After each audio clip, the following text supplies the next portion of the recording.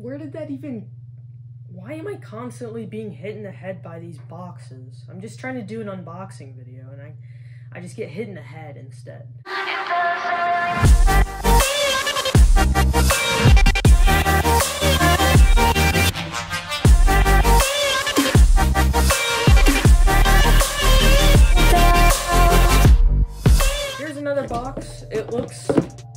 Like it might be some grip tape because I forgot to order it with my vault order and had to place another order. Now I have another box to open and this should be just some grip tape. So welcome back.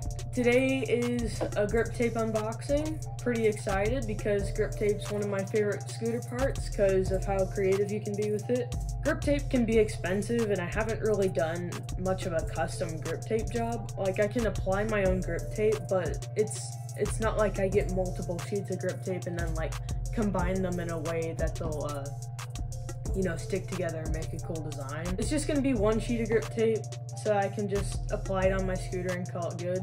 Basically, that's all I got, and that's what I'm expecting to be in this box. So we might as well get straight into the unboxing. I got the same knife as last video, and I'm not gonna be a dummy and try and decide like what is the best way to open this box. There's really only one way to open a box. Not that I was being much of a dummy in the last video, but at least I could have known how to open a box like a normal person. And not like some guy who's living under a rock. Anyway, I'm pretty excited about this too. Not as excited as I was with the Protos because I actually did not know which Protos I would be getting. So it was a lot more hyped up than this might be because I know what I ordered and I know what I'm already going to be getting. But it's still pretty exciting whenever you get new scooter parts because it's like a fresh start. Anyway, inside, can't see it yet, Anyway, you can't see it quite yet. Got the grip tape. I'm gonna cut the tape. And then I will reveal what the grip tape is. Looks like they threw in a sticker sheet. That's pretty nice. Similar to Proto, they threw in some stickers too. Okay, here it is. Some black. All right. And as you can see, this is very wide grip tape. I'm pretty sure it's 7 by 21 grip tape.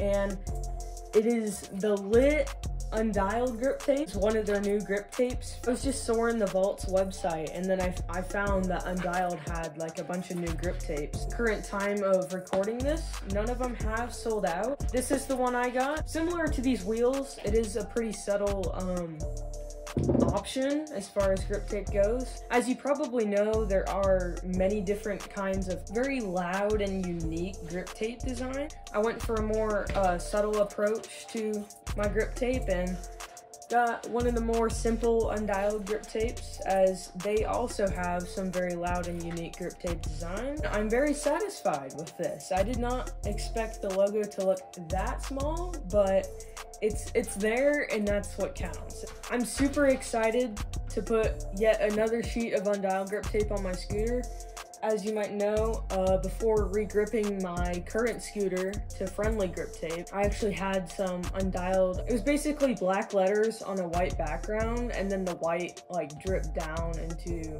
where the wheel goes. I'm excited to have this, yet another sheet of undialed grip tape. It's pretty nice, not the grittiest stuff, but I'm sure it'll do the job just fine. Looking forward to applying this grip tape. Here's the grip tape on my current scooter. Like I said, I um, used to have undialed grip tape on here, but I changed it to friendly grip tape because the undialed stuff got worn out. And as you can see, this is pretty worn out. Since I got a new deck, I won't be putting this new grip tape on here. Maybe in the future, I'll consider regripping this deck because I'm actually planning on keeping this scooter around as like a backup scooter. If I ever decide to ride something that's a little shorter, a little more agile. This is the current grip tape I've been riding. It's done quite, quite a good job.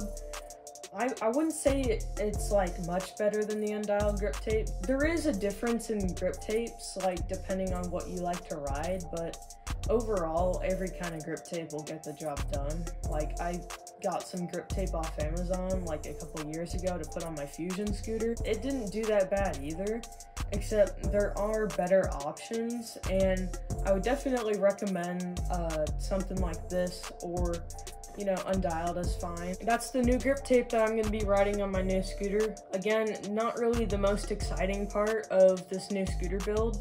I just wanted to unbox this alone because it, it did come in its own box and it is pretty exciting because grip tape could be about anything. Again, I am just getting into the swing of things with this build. Like last unboxing video, it was basically just one part of the scooter that I was unboxing.